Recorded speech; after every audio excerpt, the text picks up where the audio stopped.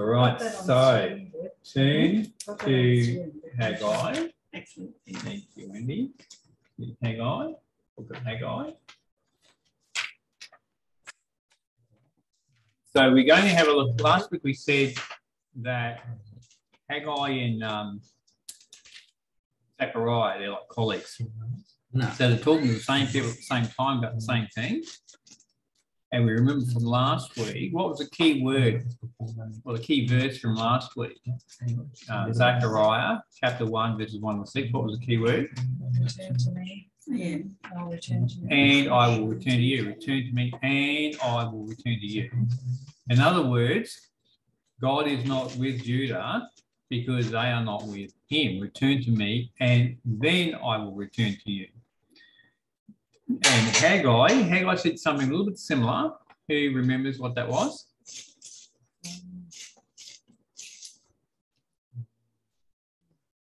Consider your ways. Consider your ways. So. Haggai and Zechariah, again, addressing, addressing the same people at the same time over the same problem.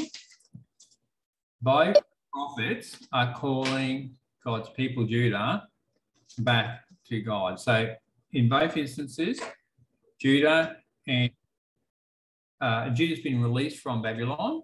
So they've been in captivity for 70 years. This really, so these these passages here, well, these books here, they pick up where Daniel left off in chapter nine. Remember chapter nine, Daniel prayed because he thought that the Messiah was was coming and he was going to set up his um, um, kingdom on the earth, which also meant he was going to judge, which then motivated Daniel to pray for his sin and for the sins of Judah. And in chapter uh, 9, Daniel chapter 9, verse 13, he makes this comment we've learnt nothing. So after 70 years of captivity, we've learnt nothing, and now we're going to be released. The Messiah is going to come, and he's going to, as I say, judge. Of course, Daniel didn't understand the timing, which is really what Daniel 10 through to 12 was all about, whereas the angels came and started to try and give him some understanding. No, it's not now, it's way off. Yeah. he- no matter how many that. times he was told, he still couldn't get it. It was too much for him. Uh, and then the angel eventually says, close the book for as many days from now. Is, you know. However, so this picks up from that. So now you've got the prophets coming in, and they're now addressing Judah. And there also, so these the with um, Zechariah, so this is really setting the stage for where we're going next in Zechariah. Zechariah gets eight visions, and within those eight visions, uh, they're all apocalyptic. So it's all about uh, the coming tribulation and then the return of Christ, who will judge and set up his millennial kingdom. So what you've got with these two prophets here, one's coming in say, and saying, uh, return to me and I'll return to you. The other is saying, consider your ways. Get right with me. By doing that, by getting right with me, you you will be with me. You will be with me, and I will be with you. So that that's what these two books are really all about. So why don't we, um, before we go any further, we're going to read the first chapter of Haggai, and then we'll give a bit more background on it.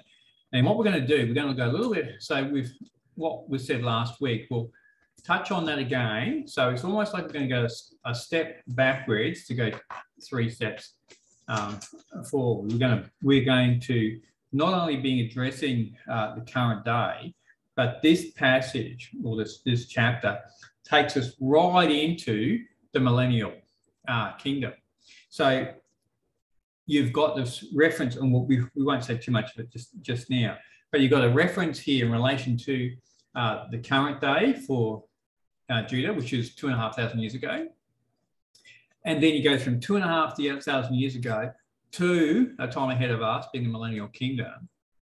But then with that also, you need he, there is a small reference, just a verse or two, with respect to the end of the tribulation. But So- see, these prophets didn't really know what they were saying, did they? I mean, they knew what they were saying, but they didn't understand it.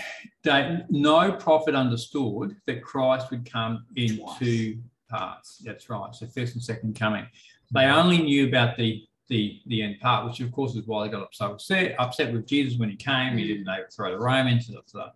and uh, Didn't set up an animal. yeah, th- th- this is not the Messiah that we want. You know, we've been expecting the Messiah that's going to come and he's going to overthrow the Romans, and he's going to establish Israel and the Holy Hill and all that. We're going to rule and reign alongside the Messiah, and all of the nations are going to get smashed. That's what they're looking for. And of course, when Jesus didn't fulfill that, um, They um, rejected him. they rejected him. That's right. So, but the next time he comes, he, he will do that. Unfortunately for Judah, they're going to be on the um, uh, the sharp end of the stick. Before Christ returns, and because of their reject their, their rejection of Christ, much of what takes place throughout the, the tribulation is going to be aimed at them.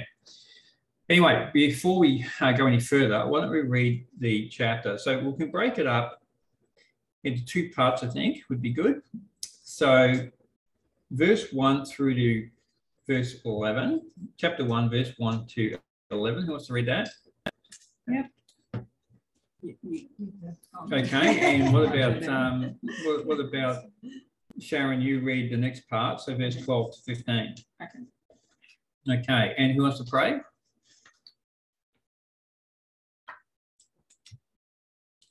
All right, I can pray. That's fine. Oh, you want, you pray, want, does somebody else want to pray? I'd like, maybe, okay, we we do get some, um, you know, um, some, in- what, what do they call it, um, um, equity and inclusion here. Equity, a little bit of. No, that's fine. All right, so John, are you're gonna, you're gonna pray. All right, uh, so when are you gonna start? Sharon, John. In the second year of Darius the king, in the sixth month, on the first day of the month, the word of the Lord came by the hand of Haggai the prophet to Zerubbabel the son of Shealtiel, governor of Judah, and to Joshua the son of Jehozadak the high priest. Thus says the Lord of hosts, these people say the time has not yet come to rebuild the house of the Lord. Then the word of the Lord came by the hand of Haggai the prophet. prophet. It is a time for you yourselves to dwell in your panelled houses while this house lies in ruins. Now, therefore, thus says the Lord of hosts consider your ways. You have sown much and harvested. You eat, but you never have enough. You drink, but you never have your fill. You clothe yourselves, but no one is warm. And he who earns wages does so to put them into a bag with holes. Thus says the Lord of hosts Consider your ways. Go up to the hills and bring wood and build the house that I make, that I may take pleasure in it, and that I may be glorified, says the Lord. You looked for much, and behold, it came to little. And when you brought it home, I blew it away. Why? declares the Lord of hosts. Because of my house that lies in ruins. While each of you busies himself with his own house, therefore the heavens above you have withheld the dew, and the earth has withheld its produce. And I and I have called for a drought on the land and the hills, on the grain, the new wine, the oil, and what the ground brings forth, on man and beast, and on all their labors. Then Zeru- Zerubbabel, we say? it? Zerubbabel? Zerubbabel, Zerubbabel. said the son of Shealtiel, and Joshua, the son of Jehozadak, the high priest, with all the remnant of the people, obeyed the voice of the Lord their God, and the words of Haggai the prophet, as the Lord their God had sent them. And the people feared the Lord. Then Haggai, the messenger of the Lord, spoke to the people with the Lord's message I am with you, declares the Lord. And the Lord stirred up the spirit of Zerubbabel, the son of Shealtiel, governor of Judah, in the spirit of Joshua, the son of Jehozadak, the high priest, and the spirit of all the remnant of the people. And they came and worked on the house of the Lord of hosts, their God, on the 24th day of the month, in the sixth month, in the second year of Darius the king. Uh, Thank you, Lord, um, for this gathering today. I pray, that um, you'll guide and teach us um, uh, through Mark's teaching of the book of um, Haggai, jumping to, I believe. You, Lord, um, your word, and um, may edify us um, today. In Jesus' name. Amen. Amen. So again, as I said previously, you can straight away the language of the uh, the chapter here and, and flowing on through the rest of the book is you've got that immediate return to me, I'm going to return to you. Consider your ways. So you've you know we've you've been called back and you've been released by uh, Darius uh, to now rebuild the temple. They've come into the land. So when they came into the land, they were so excited, and we're going to have a look at this uh, in more detail as we go on.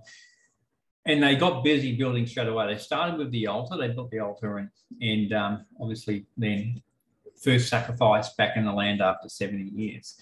Uh, so they were able to do that. Then they started with the temple, and they they um, they got distracted, and uh, they got uh, disheartened, and so they stopped doing that. And as we see in the passage here, they started then looking after their own affairs. So instead of looking after God's house, they started looking after their house. So, well, God's house laid in ruins, they were living in luxury.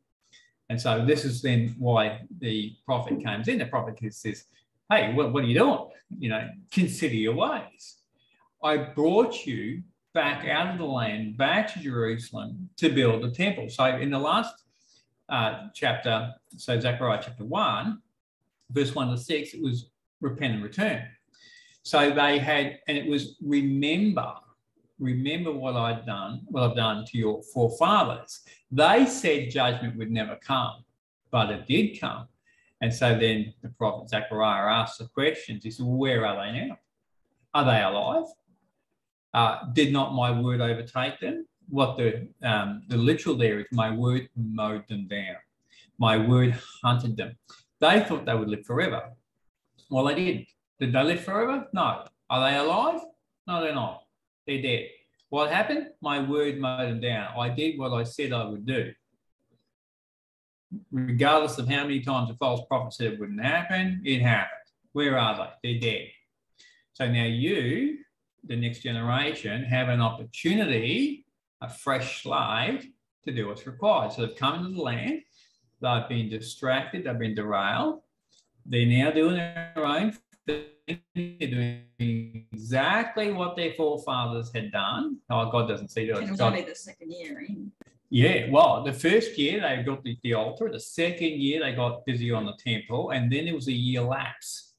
But they say she started earlier with uh, through Esther. Esther, but it was only a few. Ezra, only a few had gone out to, to start building. Now they're all in, and they're all involved in this, and they're all excited, and they're all giving in some way, you know, financially and also through their labour. So everybody's involved in this in this project. And of course, you know, then the enemy comes in. We'll look at this in more detail as we go on. So in, in, in Ezra, uh, the enemy comes in and so that whilst Judah were very pleased and very excited about what's going on, they weren't too happy at all. And so then they thought, well, you know, they wanted to trick them and they bribed them and they um, they um, threatened them. And so eventually they just they stopped building. And so that's when they went off and started doing their own thing. And this is, of course, as I say, this is where the the, uh, the prophet then comes in and uh, and gives them a stern rebuke. The rebuke here is aimed at the leaders. Uh, it's the leaders, the high priests in particular, who have led um, the people astray. They say here in verse 4,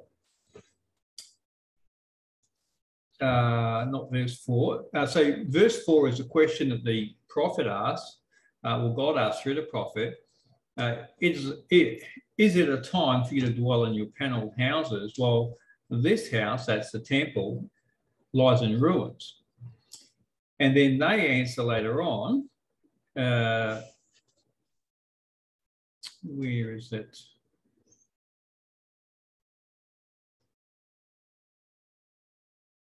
See if somebody can see, lay their eyes on it. It's where um, they say it's not the time to build the um, the temple. Oh, here it is, verse 2. Thus says the Lord of hosts. These people say the time has not yet come to rebuild the house of the Lord. Now, the reason, the reason they've been released at this particular time, God's got a plan, the purpose, Jeremiah 29 11. Now that's appropriate. Now you can use that. For these people to go in and rebuild the temple, but now they're frustrating God's plans. Remember again Daniel. So Daniel, uh, he was concerned that the Messiah was going to come and he was going to judge because the people have learnt nothing. And here's the evidence they've learnt nothing. They're doing exactly what their forefathers had done. They're repeating the same. Uh, God, through Zechariah, says, If you do the same thing that your forefathers have done, I'm going to treat you in the same way.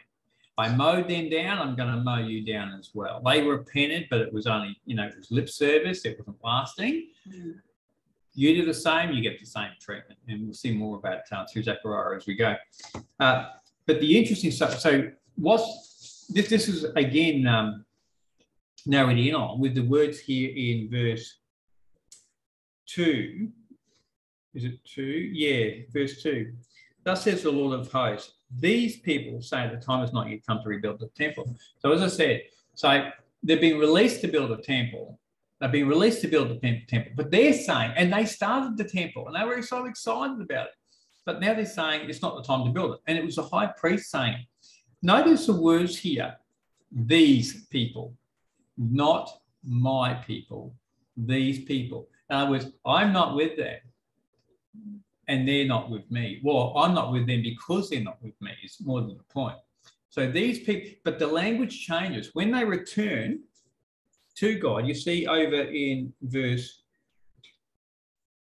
uh, 13, then Haggai, the messenger of the prophet, spoke to the people, the Lord's message, I am with you, declares the Lord.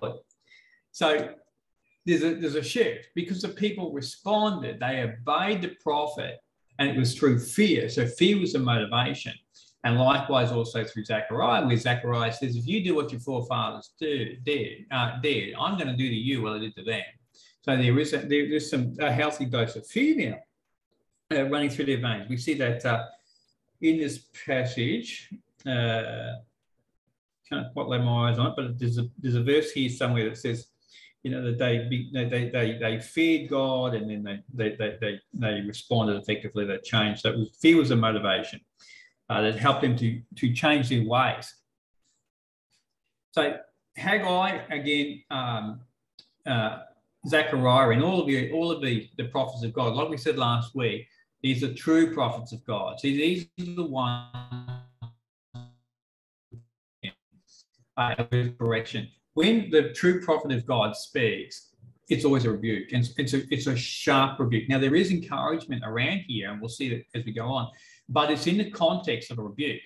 So the rebuke is you're not doing what I told you to do. The difference between this, uh, these, the, the, true prophet of God and the, and, and the phonies, uh, the, the, the ones that Jeremiah was dealing with in particular that got the forefathers into trouble, they were the ones who came in and said peace, peace and prosperity, peace and security.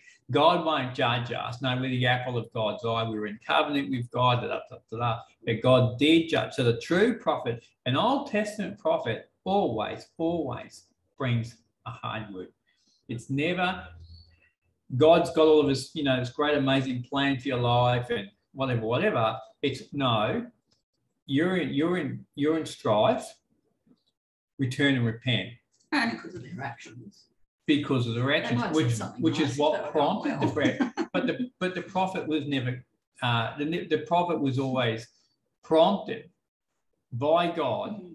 to address Israel or Judah, so generic Israel, as a result of their sin. So they were constantly in trouble. This is why the prophets kept coming.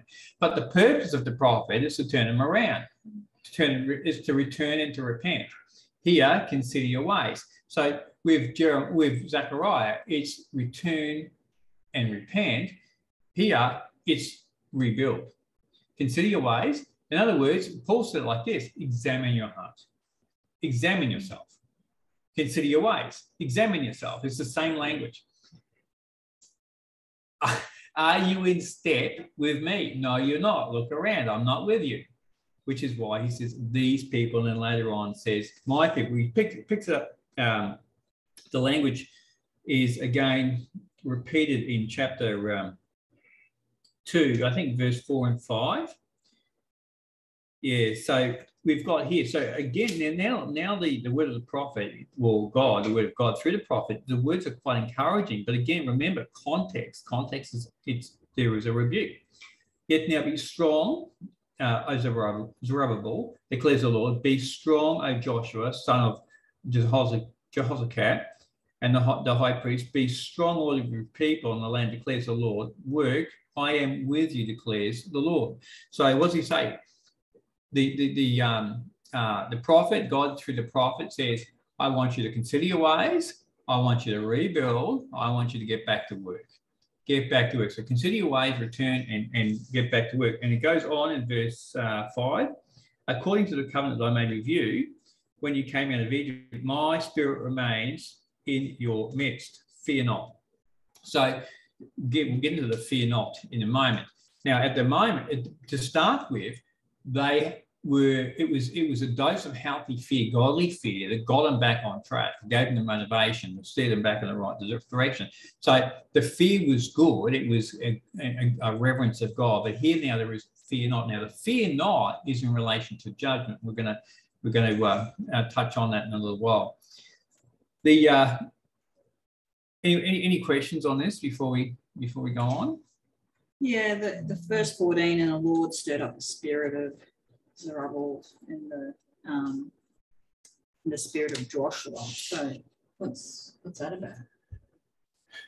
The To I was them going to stir them What, up. he, he, he brings the spirit and stirs them up to the spirit. yeah. So so so exactly what Is this spiritual John warfare? John is exactly what John said. So it's the God God is just stirring him up. He's motivating him. He's bringing him back to remembrance. This is this is what I've done before, and this is what I'm going to do again. Okay, so remember. Yeah, yeah. So he, they're remembering. This is what I've done in the past, Yeah. and this is what I'm going to do again. The, the words here, interestingly, uh, in from verse five, verses um, four to five. Hey, ready? That's with respect. So going on, that's with respect to the temple rebuild, and he's, where he says, um, "Be strong, be encouraged, fear not." They're the exact words that David used when he was building the temple, the first temple. So this is the second temple now that they're, that they're rebuilt. So that's interesting in itself. So there is there is a a, a, a, a, a reminder. What I've done then, I'm going to do again. So exactly what John I said. It's stirring them up. It's Yeah. encouraging them. It's reminding them. Yeah, Yeah. yeah. It doesn't. not a necess- literal spirit. It doesn't necessarily. I think you you seem to be alluding that it might mean that they have Holy Spirit, that the Holy Spirit there. Is that what you mean by that? No, Is that- no, like some kind of like angel spirit that's but it's not. It's just a It's remembrance. just yeah. thing. It's just trying to get them zealous and trying to get them Yeah. encouraged to do the work. Yeah, you know, that's you right. stir someone up, you know, to try and That's right. sort of Yeah, that's right. get something done. You know. Yeah. So so with Zechariah again, he reminds the he reminds the current generation of their forefathers. This is what they did. Don't do that. Then now here with Haggai, he reminds them of their um, predecessors. Now, the good guys do that. You know what they did. Do that. Don't do that. Do this. Now, when so the, what what he's doing here is he's encouraging them. He's again getting them excited about the project. So when they came out of um, Babylon, they were so excited ab- about this, this project. And they, it was because the enemy came in. So uh, Ezra chapter four, uh, verse one to five, the enemy came in, and the enemy came in uh, first. They, they weren't happy with the, the, the project at all, and so they wanted to stop it. So they tried to stop it by being sneaky, tricked them, and that didn't work. Then they tried to bribe them, and that didn't work. And then they threatened them, and that kind of did work. And so that's where this is now where the, the work stopped. So they were doing good work, they were on track, and they got distracted by the enemy. They got derailed by the enemy, and then then furthermore they got distracted by the world. So then instead of building a temple, now they're building their own houses. They, and what does God say to them with regards to this? He said, because you haven't put me first, you, you, you're trying to get rich. You're trying to fill your pockets, but your pockets have got holes in them. No matter what you put into your pocket, it just falls out. And he says, why? Why does that happen? Because I blew on it. I blew on your labor. Whatever you did, I blew on it and I destroyed it. You know, when I read that scripture now, I think um, blow it away. Kenneth, Go- Kenneth Copeland. okay. Exactly. So he, we're talking about true and false prophets, right? So we're talking about true and false, false prophets. So when God blows on something, something happens, right? So in this case, it's destroyed. Now, if we think about where God, you know, blows in John 3, where as John 3 15, uh, earlier back 12, where the spirit blows, you know, nobody can see where the wind goes, da, da, da, but it's a wind that transforms. It's a wind, the spirit that tr- you can't see it happening. You can see that you can see the evidence, Mm. you know, where the tree blows, a tr- where, where the wind blows a tree, the tree is swaying. We can't see the wind, but we can see the result of the wind, right? Yeah. Well, it's the same. So with John 3, when the spirit blows, we can't see the wind, we can't see the spirit, but we can see the evidence mm-hmm. of the spirit blowing because we change. We're born again. You've got to be born again, which is what the whole passage is about. Mm-hmm. So walking in the light as opposed to not walking in the darkness, etc. So, so when God blows, something happens. So in this case, something bad. Uh, in the tribulation, something very bad. Uh, in relation to our lives, we respond to Him when the Spirit blows, when God blows, the Spirit, the wind, something good happens. We change, we become more like Him, we transform. Again, uh, the true prophet, when a true prophet says, Thus says the Lord, something, something happens. Whatever, whatever the, the prophet is saying, that word is reliable. It's going to work. It's not going to return void. It's whatever God said He's going to do, He's going to do. Think back again with Daniel in chapter 9. Daniel said the people have learnt nothing, but God remained faithful to his word, regardless of the people learning nothing in that time. God still released them because God said he would. So he remained faithful to his word. Whatever God said he was going to do, he was going to do. Hmm. The difference between God, of course, and the and the prophets is the with the false prophets is where the false prophets say this or that. Well, it doesn't happen, and that is a test of prophecy. The test where the true prophet says this is going to happen, it happens, then we know that that that that, that one's a prophet, unless that one then even uh, may say this is going to happen, and it can be accompanying signs and wonders to confirm whatever they've said. If they then lead people away, astray from God, then you also know they're a false prophet, even though their word came to pass, and they may have operated with signs and wonders. So Deuteronomy 18 and 20 talk about that. So the, the reference you just made, Kenneth Copeland, I can name you because it's appropriate here. Uh, Kenneth Copeland. So Kenneth Copeland said in, in uh, March 2020 that he blew, blew on COVID, blew on it, blew it away, and he said it's gone forever, and it'll never be back. Uh, it is finished, thus saith the mighty spirit, the mighty spirit. Whenever I write that, I always put low, uh, lowercase m, lowercase s, because I don't believe it's the Holy Spirit, not for one second. Uh, delusional. So at that time, there was 49,000 cases, uh, COVID cases in America, and now, of course, millions. Uh, I've lost count and track of how many people have been affected since, multiple millions, tens of millions. Three, Uh, three million roughly. died. Three million died. Mhm. Well, there was 49,000 cases. So again, Mismanagement.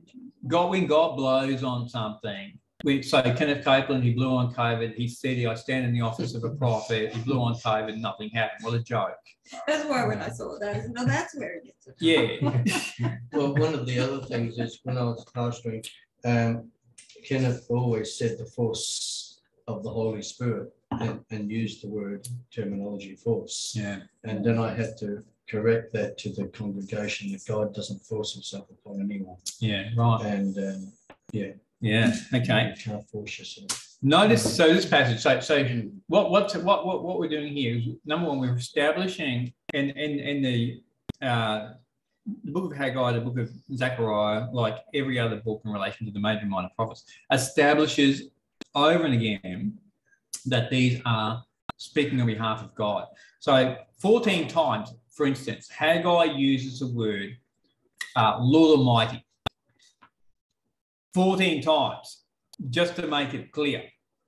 These are God's words, the Lord Almighty. So that itself got the attention, got the attention of the um, you know the audience, particularly because he's addressing the leaders, the high priests, and the um, the government, the, the uh, leaders of government, etc., the officials. He's addressing them, wants to get their attention. Now, as I said before, so this at this point they're in trouble because they've forsaken uh, the temple.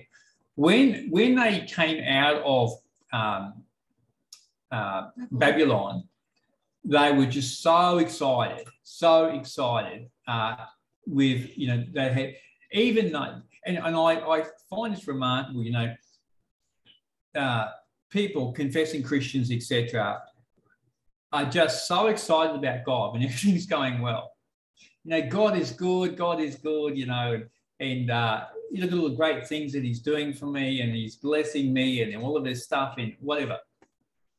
But the attitude quickly changes when things aren't going so well. Is God still good? And that's the question you've got to ask. So when they're coming out of Babylon, when they're coming out of Babylon, they, they're saying God is good. He, so in Ezra, when when when when they were released, you know, they're, they're praising God. And out of this also comes a couple of psalms, and we're reading. So the first one is um, Psalms 126. So we can turn to that. This gives you a sense of you know how these people were behaving when they when they were released first from Babylon, and then we will see um, we'll see throughout, particular throughout um, Zechariah, how that quickly changes. So Psalms 126. Who wants to read that? It's only a few verses, uh, six verses. Yeah, I can read it. Okay.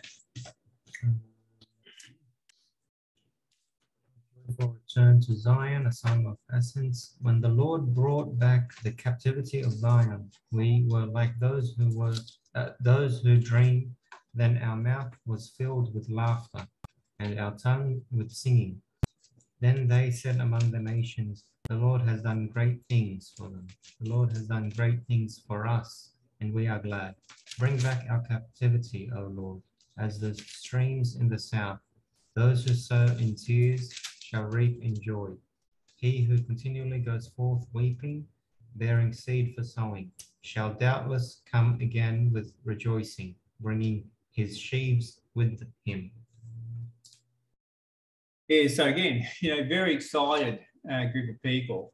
Having a look at uh, a, look, a look at another uh, psalm. So Psalm 36. This one's written by David, and this is a um, this is an interesting one when we make the comparison between who God is uh, good towards and uh, and also who He judges.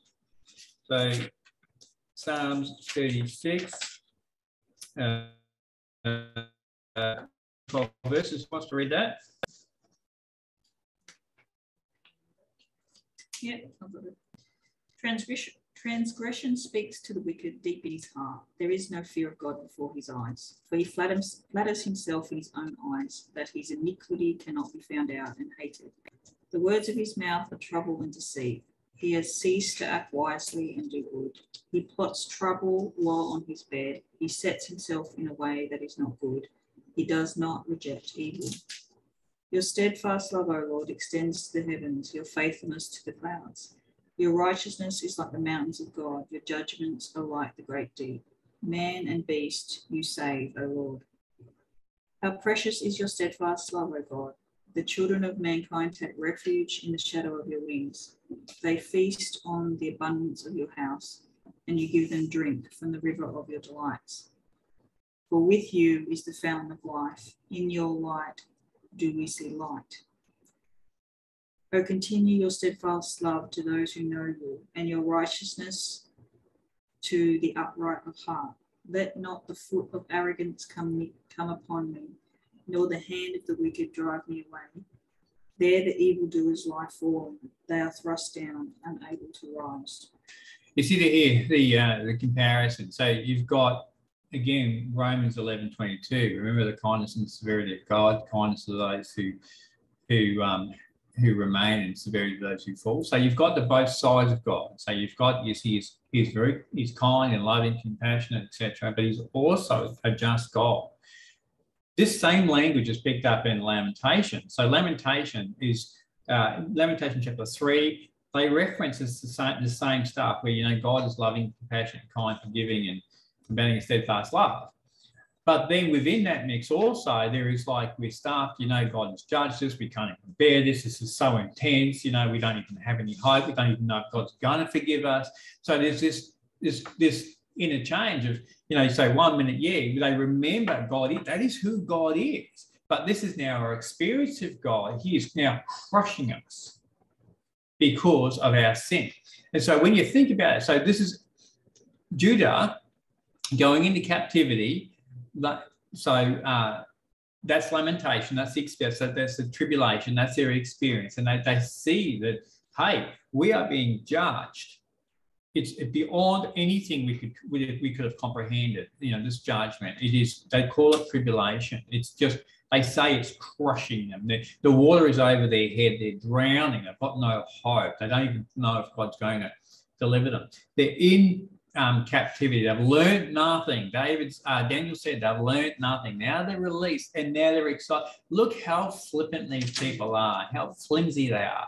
They get so they're excited and they're saying, "Hey God, you know we we're back here. How good are you, God? You're so good. You're so good." So in Ezra, uh, Ezra uh, deals with the same um, this the same um, period of time. And, so, and in Ezra, they say God is good, and so we see in the passage in in, in the hundred. Is is the is this generation that went? Is this the same generation that went into? Some of them were. Some some of them were. Some them not were. many. Not many. No. Most of them perished. In fact, there's only forty three thousand returned to Jerusalem from Babylon. Now, some stayed in Babylon. They wanted to, but think about this: when Babylon was when Babylon invaded uh, Judah, Jerusalem specifically, they were no longer a nation. So it gives you an idea. So we don't know how many people died, but it gives you an idea. They were no longer a nation. It wiped them out.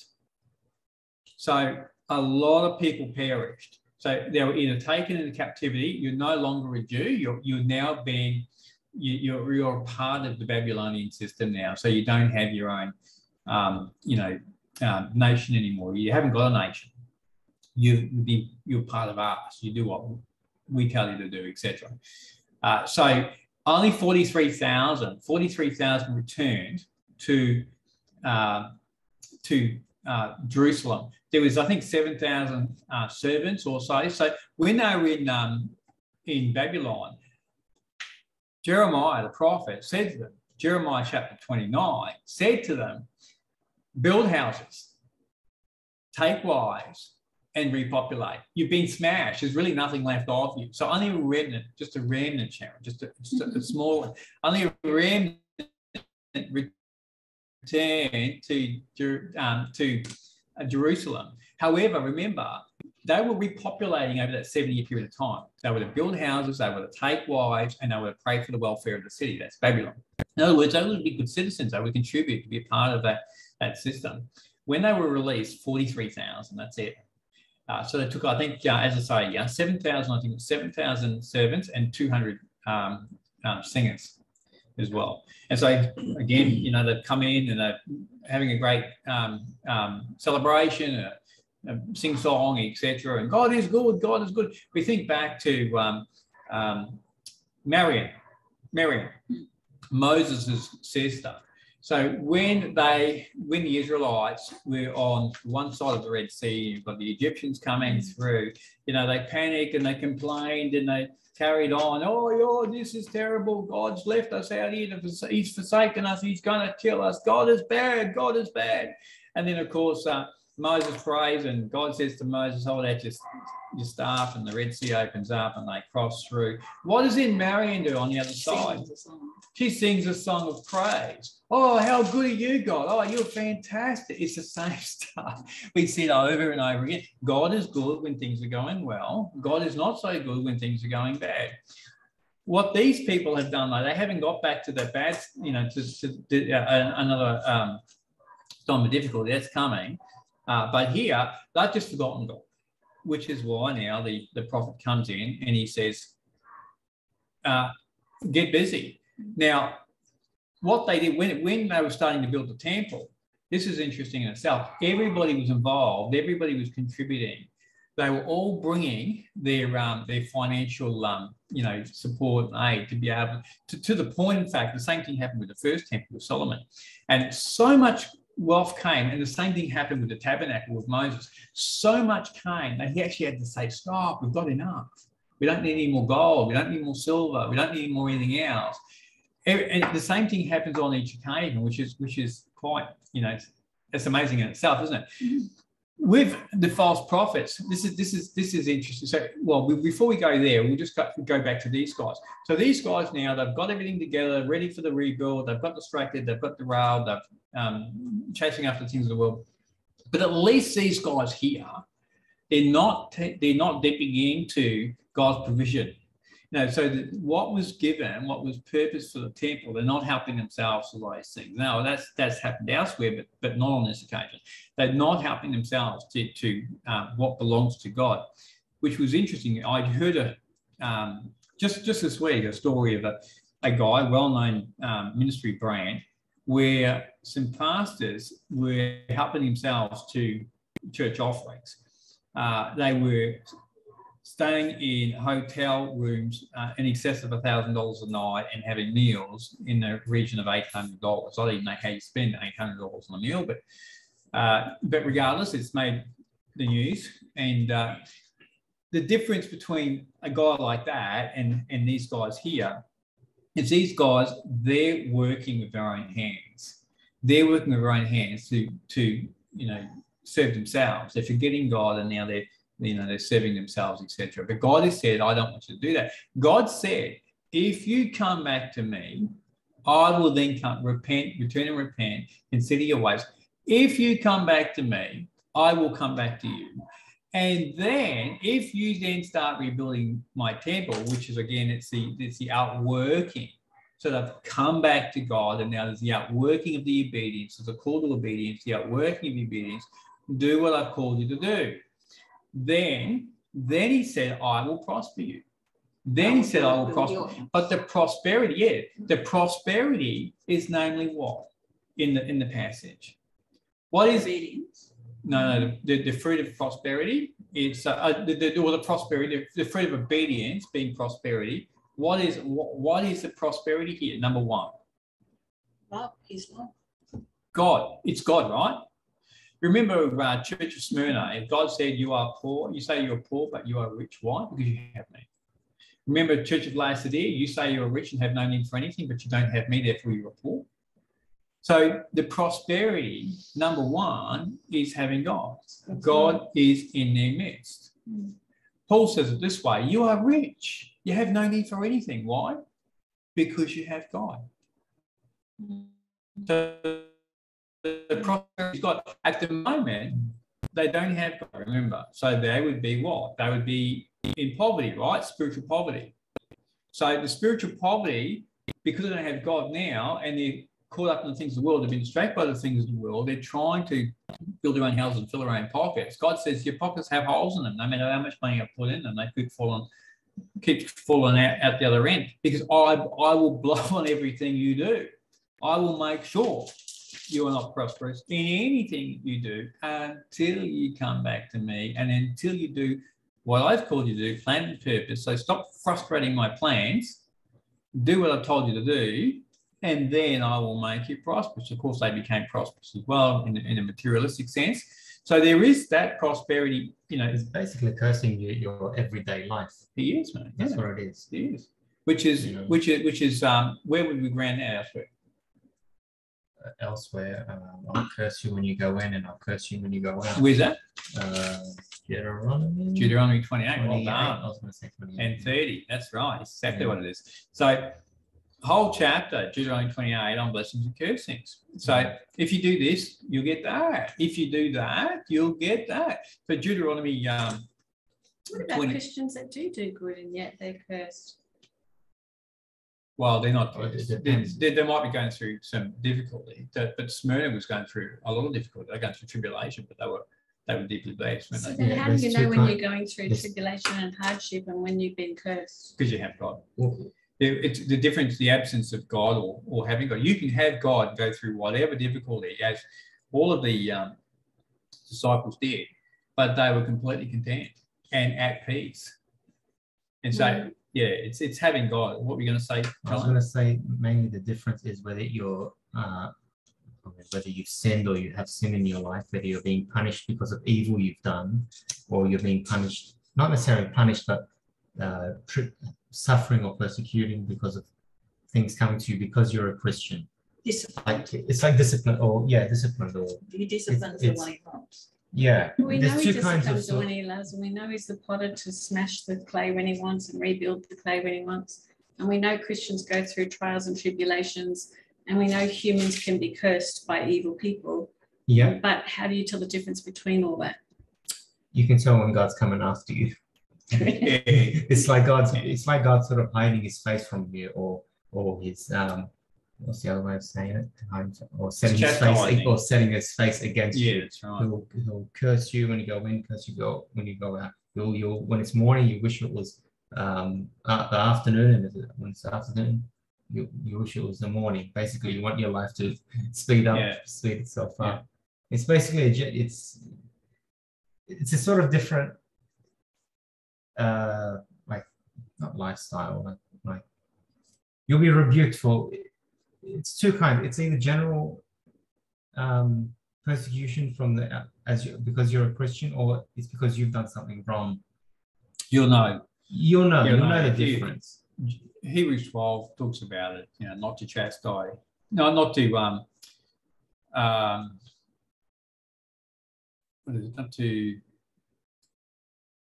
disregard the chastising of God or something like that, or So, what- yeah, I can't um, remember the exact wording.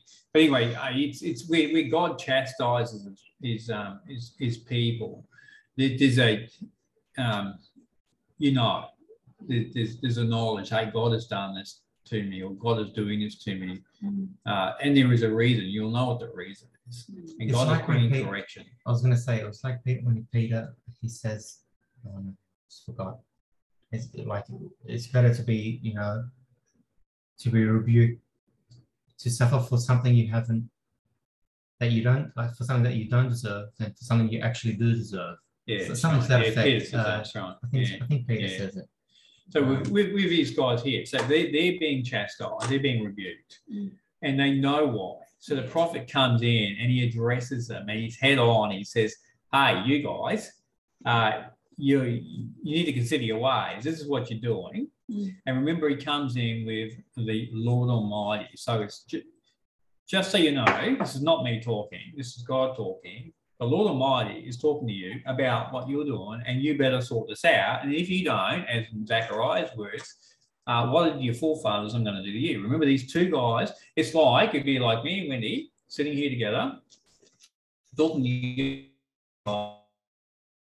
and I'm saying something, and then she's saying something. I'm, you know, I'm I- I'm and she's Haggai, and and we're saying the same thing, the same people at the same time.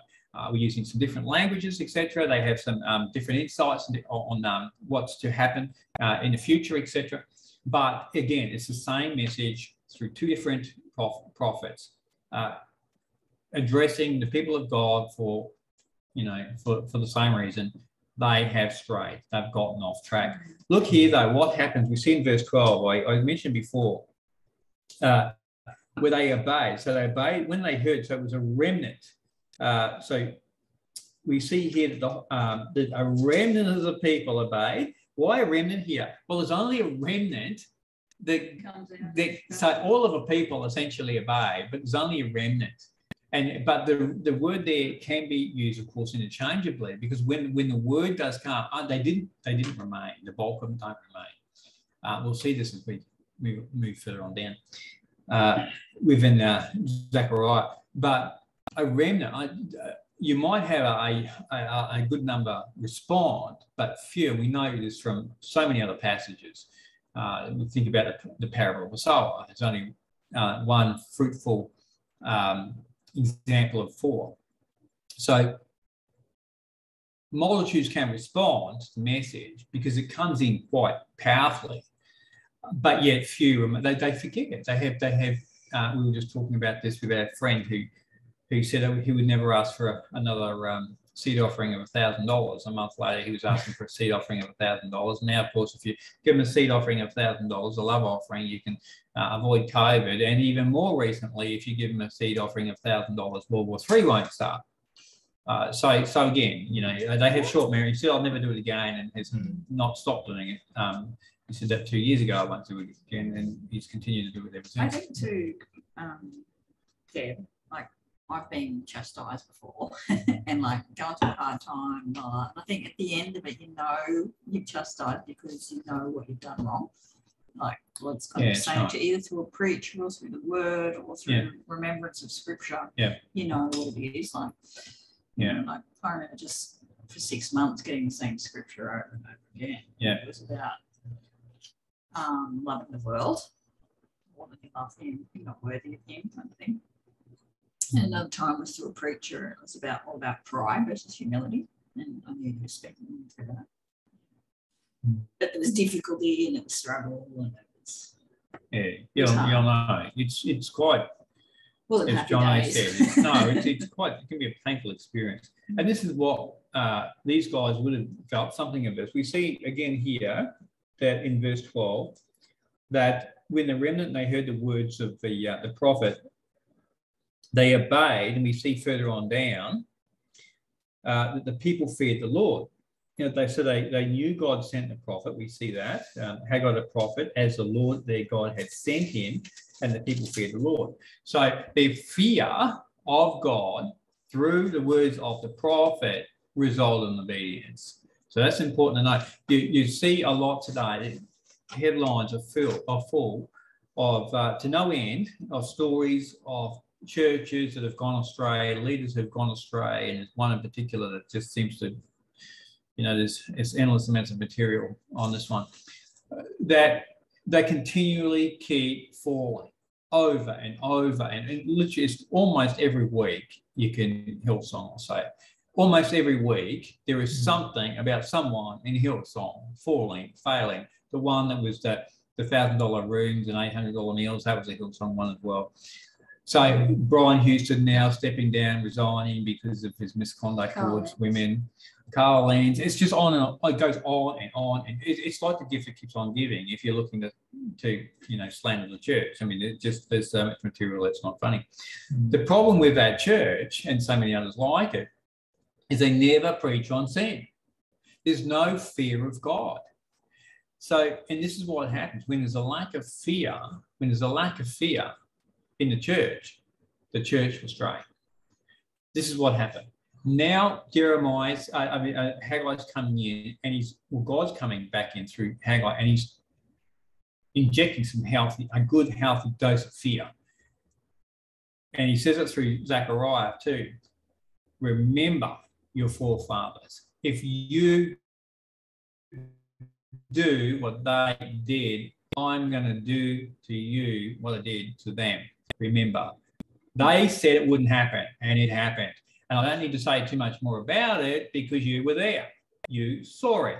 You, they're the kids. They're the direct descendants of those people that went into Babylon. They're the ones now coming out. Some of them would have gone into Babylon. Some of them would have been pretty old, but they would have gone in as babies and they'd be just coming out of the. So they would be, you know, they'd be well in their, their years by now. Uh, but they didn't need to say too much about it. More than that, Zechariah, because of course they, you know, they remembered it. So they remembered how difficult it was, and now, of course, now they're released, etc. They've quickly forgotten. You know, hey, this is what God did to me then; He will do it again. But then, in a way, that's that's that's partly there was not all, but some responsibility to the people that were taken into captivity, not to pass it down how horrendous it was to Mm. their offspring. that's right. So- but they learned nothing. But they learned nothing. So Daniel said, um, But they were Daniel eating their children. I mean, it was so bad. Yeah, that was in um, uh, when they were being um, um, siege. Yeah, Under- but that- under that was- siege. that Yeah, that's yeah. right. So Yeah. yeah, they, they, were, they were starving, and yeah, they did shop and stuff. Uh, but but the uh, the the, the um, worse than that is where they were sacrificing their children to Moloch and Baal. Mm. Uh, But that was so- before the judgment. No, that was we, it was before the judgment, but but so was the cannibalism as well before Oh, they that had was to be in I don't even exile. understand how current. Yeah, no, that was when they were under siege. That's when they were under siege. They had no food. So yeah, Yeah. yeah. So it was a, it was judgment, but they weren't. They hadn't been exiled. Yeah. Okay, so there's a lot in this passage. We, we're not going to have a, um, a huge amount of time to, to go into it too deeply. Uh, but so what happens here is obviously the people they they- they're now uh, encouraged and motivated again. Uh, they're told to be strong and, and to to get building, so they do that. so we come down to uh, verse three. So remember with Zechariah, Zechariah asked three questions, and he said to the to Judah, he said, um, um, "Are your fathers, forefathers alive? Uh, are your father, forefathers live forever? You know, where are they now? Yeah, well they're dead. Uh, did not my word mow them down? Uh, yeah, it did. And, and that, those words come directly out of um, Deuteronomy, Deuteronomy 28, verse 15 and 45, I think where it says, if you if you do this, if you do good, then I will bless you. If you do bad, if you do bad, then I will curse you. I will chase you down. I will hunt you down, and I will kill you. So those words in Zechariah are exactly what was said through Moses in Deuteronomy. I will hunt you down. My words will hunt you down. They will mow you down. They will kill you. So this is what Zechariah, you ask those three questions, and the last being, where did not my words overtake him? Now, so again, remembering, remembering what happened to the forefathers. So Haggai does something similar. So they're building this temple, and now you know they're they they're using rubble. So they haven't got the, you know, everything refined as they did with the first temple. They, they, are picking up the rubble that was destroyed through uh, the Babylonian invasions and Nebuchadnezzar destroyed the temple. They're now rebuilding the temple with rubble. And so it doesn't look as good.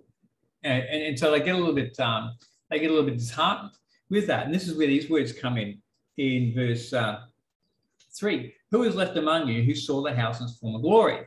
So they're talking about the temple. So again, some of the ones who went into captivity are there.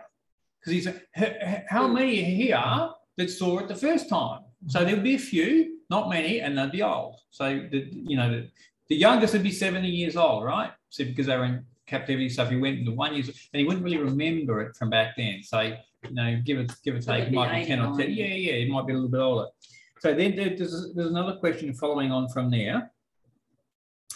Uh, how do you see it now? So, you know, what did the what did the first temple look like, John? Did, did you see it? Yeah, yeah, it was beautiful. How does this compare to that? This is rubbish. that was that was built with everything refined. Now we're, we're building with rubble. And then there's a third question here.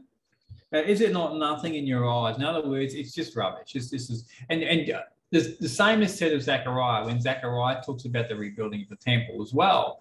And so there's some words, there's some verses there that I've often taken out of context in relation to, uh, not my, but not by my, not by power, not by power, but my spirit, says the Lord, etc. That's to do with the temple. That, that God will remove every, every obstacle to rebuild the temple. Now, the obstacle here, of course, has been uh, the enemy. So the enemy have stopped them, derailed them, and distracted them from building a temple. Now the prophet's getting them back on track. But now they're discouraged. They're saying, well, this is rubbish. This is not even, they're, crying actually. They're, they're, weeping at the temple saying, well, this is, this is nothing close to, to the beauty, the glory, the splendor of, of, of the previous temple, which is why then the words come following. Uh, yet now, be strong, O Zerubbabel, declares the Lord. Be strong, O Joshua, of Zedekiah, the high priest, be strong, all of you people in the land, declares the Lord. So be strong three times. Be strong, be strong, be strong. Now work. Emphasis. Now work. Get to it. Don't worry about what it looks like now. Don't worry about that. Just get on with it. And following the follow, the words following that, for I am with you, declares the Lord, according to the covenant that I made with you when I came out of Egypt. My spirit remains in your midst. Fear not. So, in other words, I'm going, I'm doing a good work. I'm doing a good work.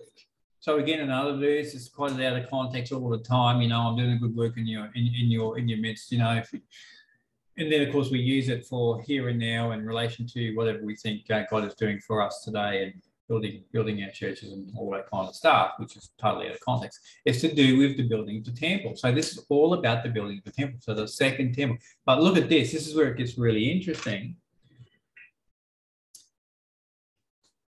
Verse six. Thus says the Lord of hosts, yet once more in a little while I'm going to shake the heavens and the and the earth and the sea and the dry land. So I thought of you, Sharon, when I saw this, just in just a little while in just a little while, I'm going to shake everything. I'm going to shake the, the heavens. I'm going to shake the land. I'm going to shake the sea. Mm-hmm. I'm, in just a little while, Sharon. Yeah. That was two and a half thousand years ago. Oh, soon. I hate soon. I want a day. I want a day. Two and a half thousand years ago, just a little while. Now, in comparison to what eternity, in comparison to the, the age of the earth, two and a half thousand years is just a little while. In, in God's in God's eyes, That's it's right. just a Doesn't it little like while. us. It is just a little while. But what's this talking about? In just a little while, I'm going to shake everything. Everything that can be shaken, I'm going to shake it. all silver and gold is his. Mm. As- So as- what's as- it? What's it talking about? What's it talking about? So we're talking about the You temple. it out, worldly The, what's this? New heavens, new earth.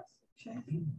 How does that go from this temple, the building of this temple, the second temple? Don't worry about it. Yeah, it's rubble. It's not great. It's not grand.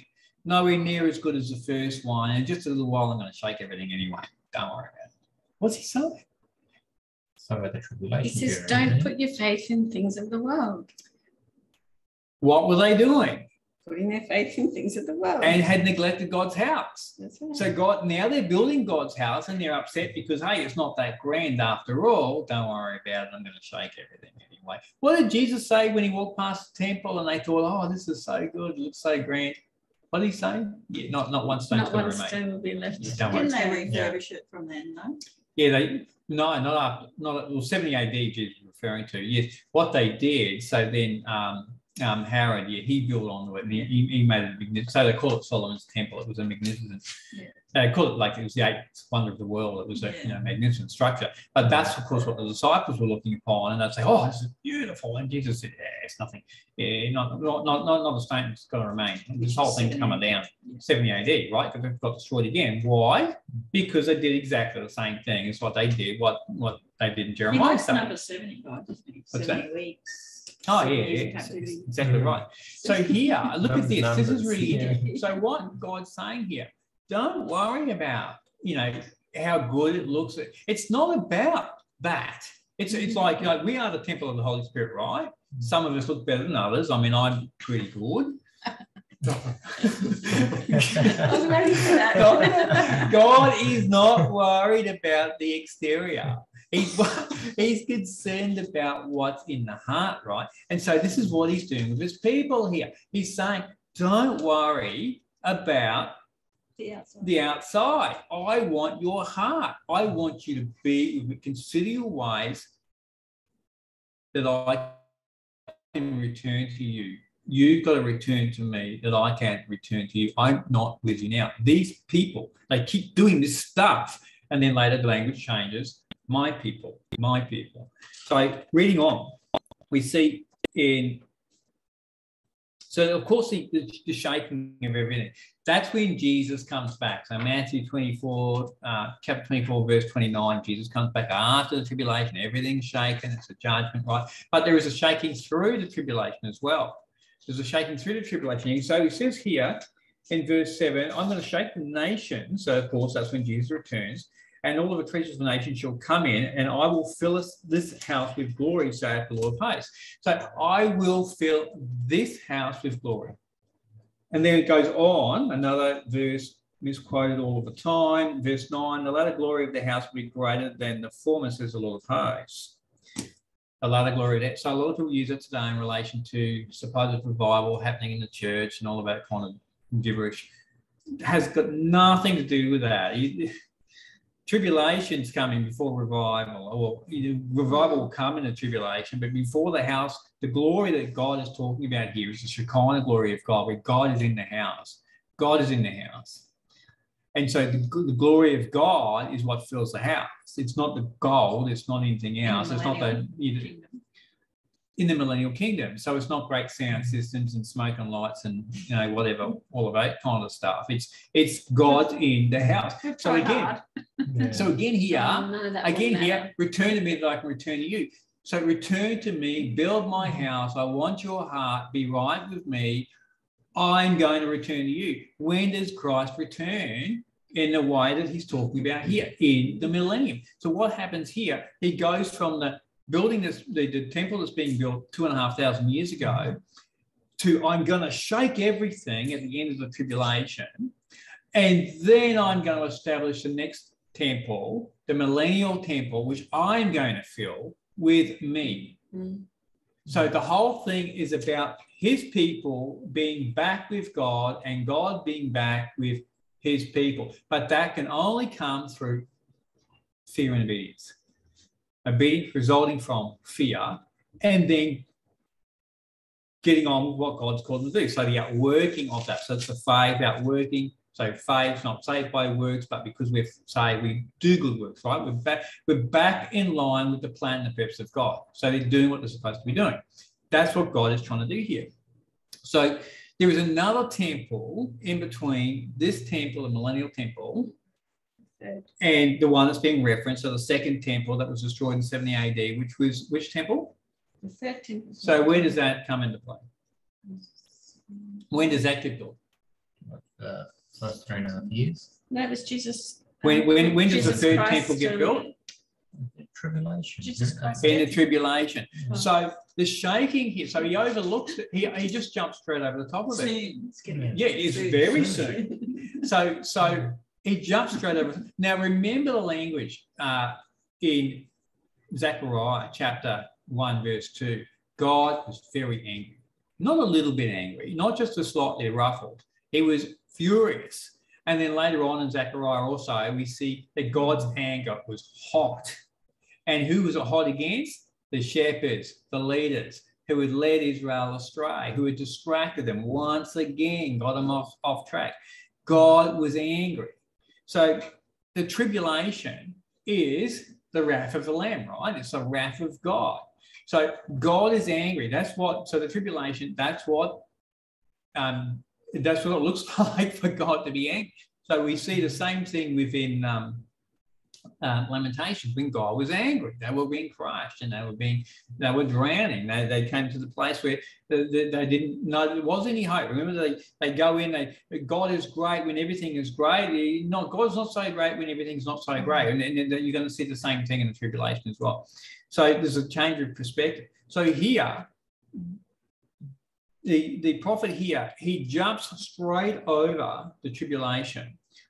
Well, comes in at the end of the tribulation, seven years, the shaking of everything, and then comes straight into that um, that final, uh, that was the seventh day, so the, the millennial um, kingdom, millennial dispensation, uh, and talks about this last temple, the last temple. After that, after the the, the, the 7,000 years kingdom, there is no temple after that. So Revelation talks about that in uh, chapter 22, I think it is. Uh, where there is no temple, there's no need for any temple because God, God is there. Even though Christ is there in the millennium, there is still a there is still a temple, no temple after that. So interesting, isn't it? We see here in these last verses that um, uh, yeah, I will give peace, declares the Lord of hosts. So with the glory of God, when the glory of God is in the temple of God in the millennium, there's going to be peace. So it's a time of peace. The Prince of Peace is ruling with a rod of iron. That's what it's peace, because Jesus is ruling with a rod of iron. Revelation picks up on it a couple of times in relation to Jesus ruling with a rod of iron in the millennial kingdom. He keeps sin at bay. The, the, the devil's in the in the pit for a thousand years. Jesus is ruling and reigning with an iron rod.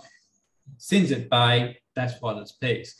Uh, Jesus is in the in the um, in the temple. The place is filled with the glory of God. That's why there's peace. God is very present. Uh, now there is um, uh, the glory of God is is is uh, throughout the whole of the world. The Scripture says everything that is is only because God because God breathes on it. So God blew on it. So God sustains everything through His breath. Everything that is, is, is good. Genesis creation story. Genesis, so so whatever God said, Yeah. whatever God breathed on, Yeah. is. It only is because God's breathing on it. So God blew up. You can say God blew on. So but so so glory of God is through everything, is, is, is throughout the whole of the world because without without the glory of God, nothing would be nothing would survive, nothing would live. But in the millennium, the knowledge of God is throughout the whole of the world. So at the moment, not everybody knows about God. But there, Everyone will know God. There'll be no, no, no atheists. There will be peace. There will be order. Uh, if you go against God in that time, then it would be there would be um, quick judgment. Uh, the scripture says in Isaiah that uh, if somebody lives lives less than 100 years and there's something, or someone dies at 100 years and there's something tragically, something's tragically gone wrong. In other words, you've got a sin. You've crossed the line and, and God's judged you quick. So that's what it's going to be look like. What's, what it's going to look like. So here, Haggai, amazing um, chapter, talking about the people of God getting back aligned and, and back um, uh, aligned with God, doing what God has called them to do, not being worried about uh, the, the temple when it's being uh, built, because God says, you know, don't worry about it too much. I'm, I'm gonna, I'm gonna, I'm gonna uh, get another one anyway. It's going to be much better than this one, and I'm going to fill it, and it's going to be amazing. Also, this verse here is worth noting. Uh, just before that, verse eight, um, Debbie, you picked up on it. Um, He's going to fill the house with glory, says the Lord. He says, The silver is mine, the gold is mine, declares the Lord of hosts. So here, uh, God is going to shake the nations and he's going to take back everything that's his, which is absolutely everything. he's going to take it off the nations and he's going to redistribute it as he sees fit for his for, for his purpose. Remember, with the building of the um, the temple here in Ezra, uh, everybody was asked to contribute something um, to gold, silver, whatever. They had so much, they had to say, we've got enough. We've got more than enough. The same thing happened with Solomon's temple. The same thing happened with Moses' tabernacle. The difference here is on this occasion, with this temple, this is the next authorized temple, that the, the tribulation temple will be destroyed. For the tri tribulation temple, we've said it before, everything is ready to go with that one. Uh, they're saying it takes about two years to build. They can't build it because it needs to go where the Dome of the Rock is. That's a fault line, uh, uh, on a fault line.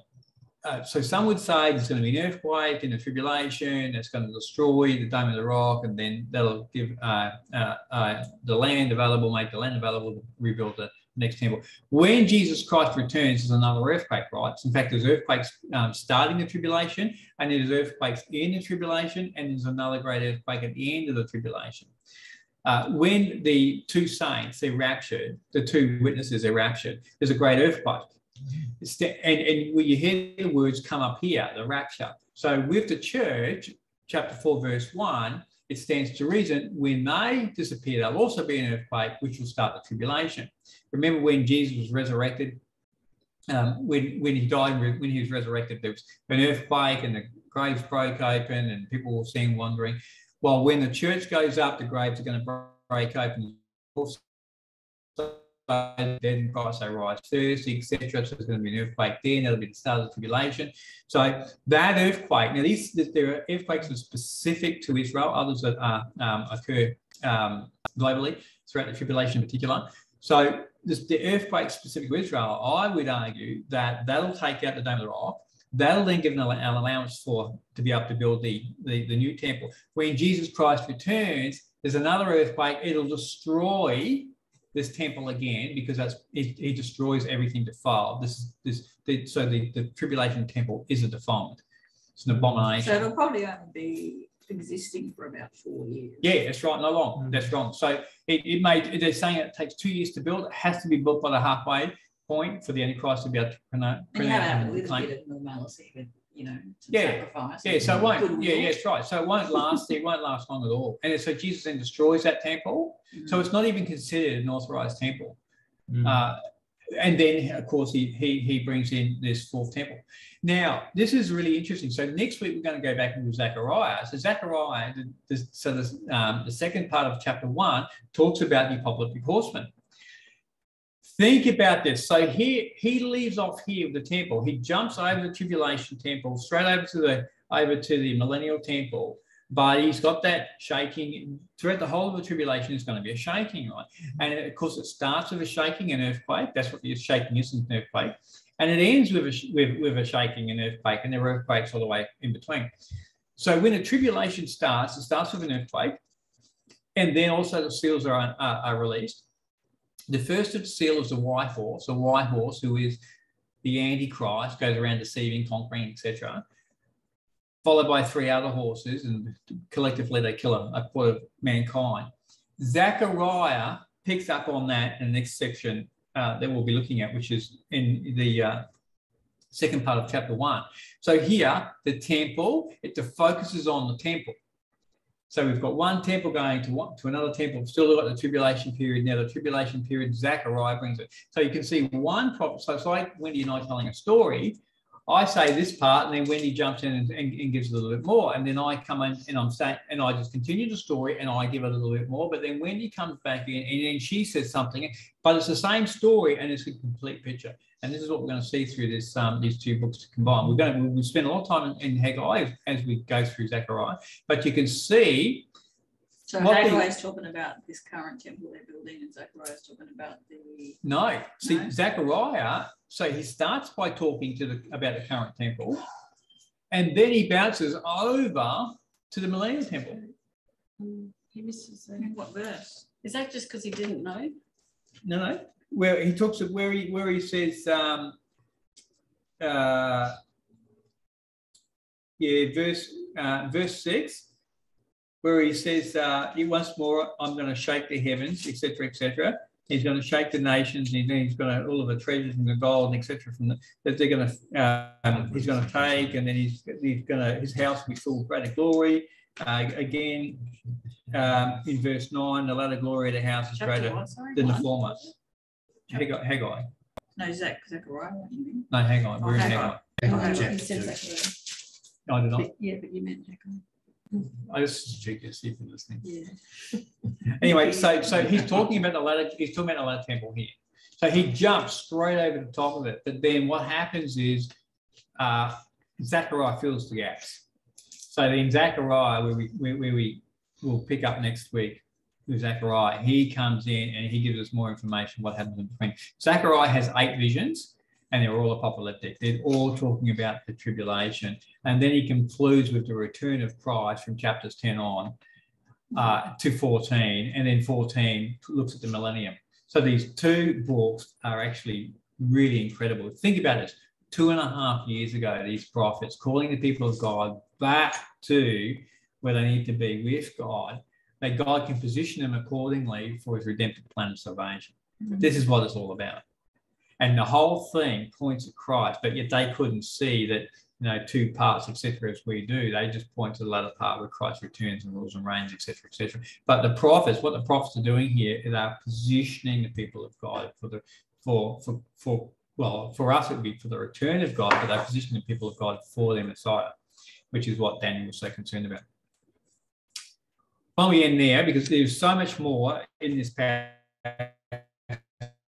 um, we could even talk about tonight, but we just had time. But you can see these are really weighty books. There's this, this they're loaded with information. We'll be doing this for the rest of the year. Uh, for Zechariah in Mm. particular, but we'll be you know coming in and out of this. But what what this will do, uh, you'll find we'll be spending a lot of time in the book of Revelation because what Zechariah is talking about and Haggai also, it's the book of Revelation and but they're just they're just giving uh, a, a different take. Um, you know, they're giving some information that's not not not found through. Uh, you know, people think, oh well, it's Daniel and Revelation, the, the two to go together. No, but you find passages and portions like the the, the um, minor prophets in particular. It's really the, what they're talking about is, is all double referencing. So it's, it's to the people of God there and then, but it's also the people of God in the tribulation. So remember, the tribulation is aimed at the Jews first and foremost. It's to get them back on track. But the whole of the world will come into um, Do they address much of AD seventy or mostly the tribulation period?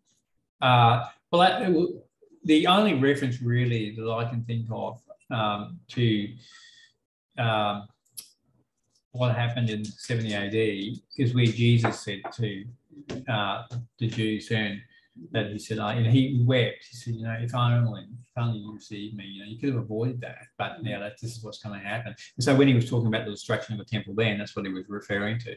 So there's not a whole lot on that because it's not a major deal. I mean, the, the, the big deal is Jesus returning. And so this is the whole point.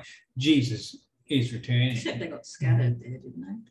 Yeah, they got scattered as they did every other time. And they're going to get scattered again in the tribulation. Yeah, but for eighteen hundred years, they got scattered. Yeah, yeah, Long time. yeah, absolutely. Yeah. That's Mm. right. Because for because they were disobedient, right? Mm. And it's the whole the Until whole the point of the whole point of a tribulation, the whole point of any trouble, the whole any, any of the judgment is to bring them It wasn't back. so much more about, I mean, it was about them, but not as much about them as the church and after seven, well, not after seventy AD, but after the coming of Christ. Yeah. So, you know, he never exiled them for more than, for, that's the longest exile, Mm, yeah, that's right. Yeah, scattering. Yeah. Mm. that's right.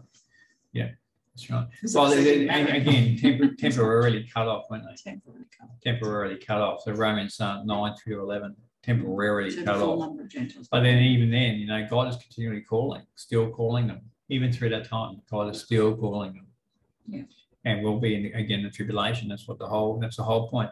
As Haggai is saying, consider your ways. As Zechariah is saying, uh, repent and return. That message is continuing all the way through into the tribulation, etc. Mhm. That's the message. That's what God is saying through all of this: is repent, return, consider your ways, rebuild. yes, that's what we see. Okay, why don't we? Um, are we going to have communion? Sharon? Yeah.